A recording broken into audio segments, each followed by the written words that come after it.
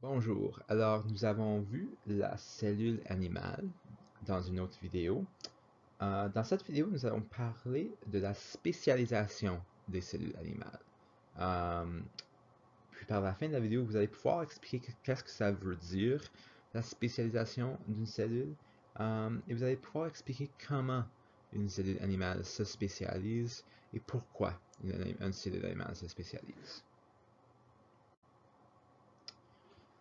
Bon, un organisme, peu importe que ce soit un humain ou une baleine, ou un chat, un chien, n'importe quoi, est composé de 75 à 100 billions de cellules.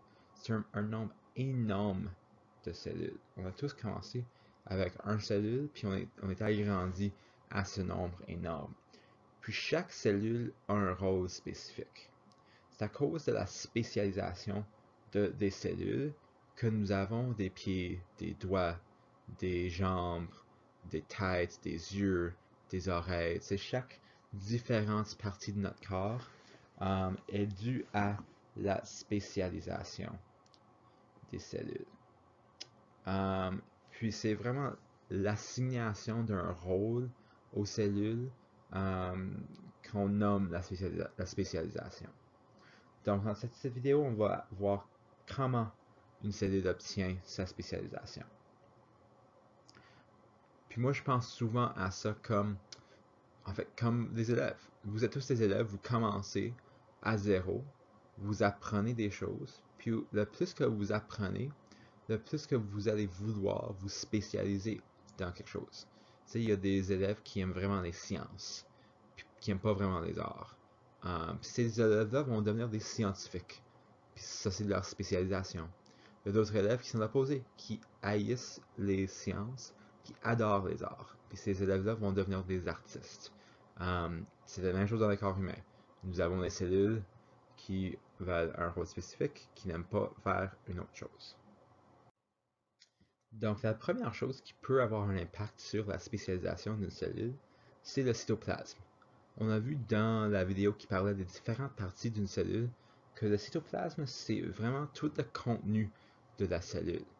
Euh, tous les organettes, tout l'espace entre les organettes, euh, c'est le cytoplasme. Euh, alors, la composition spécifique du cytoplasme, essentiellement la composition, la composition spécifique d'une cellule, va aider à déterminer sa spécialité. par exemple, il y a certaines cellules qui ont plus de ribosomes que d'autres. Il y a d'autres cellules qui ont plus de mitochondries ou qui ont ces différentes autres composantes. Um, et c'est vraiment cette mélange spécifique de composantes qui va mener à une spécialisation, spécifique. Nous avons les conditions environnementales dans lesquelles vivent les cellules.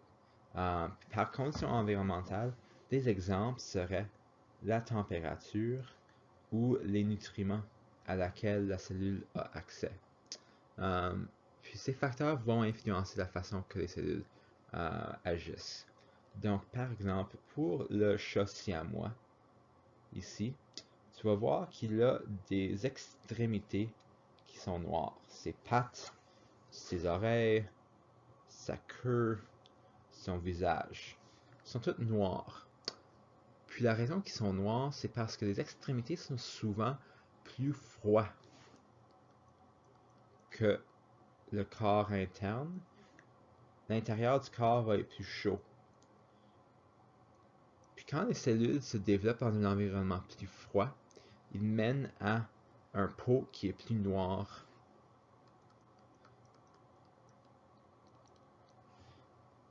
Puis si l'environnement est plus chaud, on obtient un pot ou une fourrure qui est plus pâle. Donc c'est vraiment à cause de la température dans laquelle les cellules euh, vont, vont croître qu'ils vont avoir une couleur spécifique. Donc, c'est un exemple de comment les conditions environnementales peuvent affecter euh, la spécialisation des cellules et la croissance des cellules. Puis le troisième facteur, c'est les cellules avoisinantes.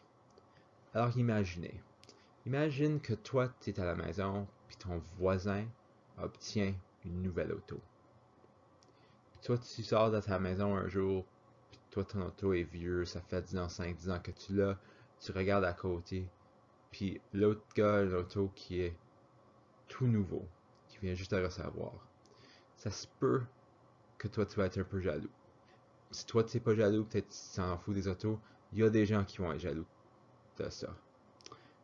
Donc, les voisins des cellules peuvent avoir une influence sur la cellule elle-même. Tout comme le voisin qui achète une nouvelle auto pourrait influencer la personne à lui ou elle-même acheter une nouvelle auto. Euh, puis cette influence dans les cellules, c'est plutôt à cause du transfert. Les cellules sont toujours en train de transférer des, nutriments, des, des, sucres, des choses entre euh, leur environnement interne et leur extérieur. Alors si tu as un cellule ici, c'est qu'il y a beaucoup de sucre. Puis là, tu as une autre cellule ici qui vient tout juste de, de commencer sa croissance. Ben, ça se peut que le sucre, la cellule voisine là, va lui donner beaucoup plus de sucre, va lui donner des choses qu'il a besoin pour s'agrandir et donc il va devenir égal dans le sens qu'il va avoir la même spécialisation à cause qu'il a été influencé par le contenu de son voisin. Parfois, par contre, le développement est anormal. Ici, nous avons un exemple de grenouilles qui ont juste une jambe. C'est assez bizarre, normalement les grenouilles ont deux jambes. Euh, mais ces grenouilles-ci manquent une jambe. Puis la grande question c'est pourquoi? Pourquoi peut-on avoir une grenouille qui manque une jambe ou un poisson qui a trois yeux ou un chat qui a deux queues? C'est quoi les raisons? Puis ça revient vraiment au, encore une fois aux conditions environnementales.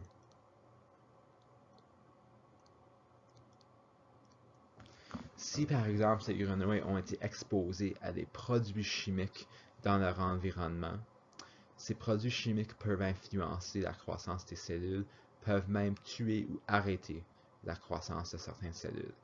Euh, alors une grenouille pourrait ne pas pousser une jambe parce que des produits toxiques dans leur environnement ont changé la façon euh, dont leurs cellules vont agir dans leur corps. OK. Les tissus.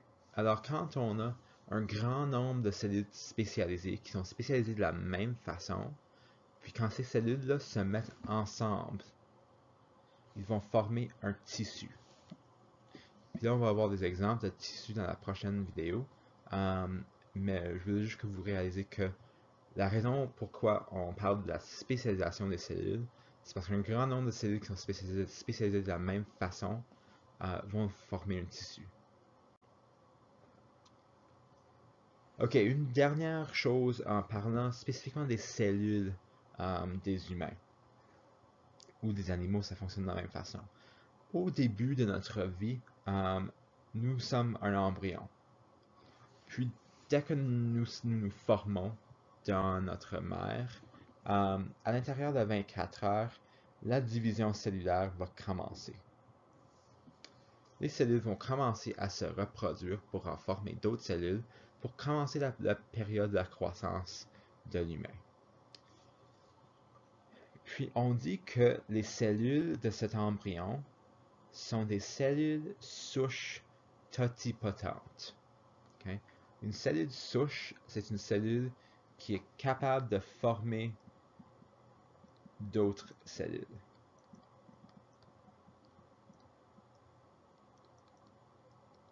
Capable de former d'autres cellules. Et une cellule souche totipotente. Totipotente veut dire qu'il peut former n'importe quel, ou pas mal n'importe quel type de cellule. Donc après 5 jours, ici nous voyons que la majorité de nos cellules sont des cellules souches mais nous avons, déjà après cinq jours, des cellules qu'on appelle des cellules souches pluripotentes. Pluripotentes veut dire qu'ils peuvent former certains types de cellules, mais pas toutes les types de cellules. Puis éventuellement, nous arrivons au point où nous perdons toutes les cellules souches totipotentes et nous sommes composés uniquement de cellules souches pluripotentes. Donc les cellules souches pluripotentes, par exemple, peuvent remplacer certaines cellules dans le cerveau, dans le cœur, dans les os. Donc, par exemple, si, quand on a 20 ans, on brise notre jambe, nos cellules souches pluripotentes vont être capables de réparer l'os de notre jambe. Mais, si dans un, accident très grave, euh, on perd notre jambe complètement, on doit nous couper la jambe. Notre corps n'est pas capable de repousser une nouvelle jambe parce qu'on n'a pas de cellules souches totipotentes. On a juste des cellules souches pluripotentes qui ne peuvent pas faire n'importe quel type de cellule. Donc, les cellules souches totipotentes vont être responsables pour toute la formation initiale de notre corps au complet.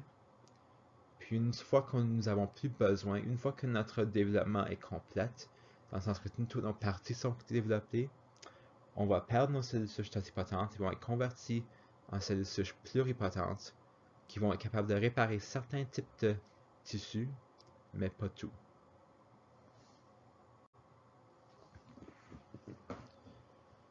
Les cellules souches, par contre, euh, sont maintenant, ces jours-ci, utilisées pour euh, guérir certaines maladies euh, qui sont assez communes. Puis c'est deux scientifiques canadiens, en fait, Ernest McCullough et James Till, qui ont découvert que tu peux transplanter des cellules souches d'un animal en santé à un animal malade. Puis ça permet à l'animal qui est malade de régénérer des cellules qui sont en santé et de guérir l'animal. Le problème, c'est où est-ce qu'on prend des cellules souches pluripotentes euh, ou embryonnaires? Où est-ce qu'on obtient ces cellules souches embryonnaires? Euh, parce que il existe seulement dans des animaux qui sont âgés de moins d'à peu près une semaine. Euh, où on les, prend seulement des embryons qui sont moins d'une semaine, euh, qui sont âgés de moins d'une semaine.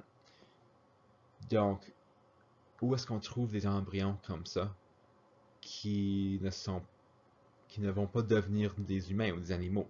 Ça, c'est une grande controverse aujourd'hui. Euh, parce que ces cellules souches peuvent générer n'importe quel type de tissu. On pourrait les utiliser pour guérir une grande variété de maladies. Euh, généralement, on les obtient de cliniques de fertilité, euh, mais c'est des cellules d'embryon que nous n'allons pas utiliser ou que, qui ne sont pas planifiées d'être utilisées. Alors, au lieu de les jeter, on, on, les utilise pour les cellules d'embryon. Mais en prenant ces cellules, l'embryon elle-même est détruit. Et il y a des gens qui croient que cette méthode de trouver des cellules d'embryon euh, n'est pas éthique.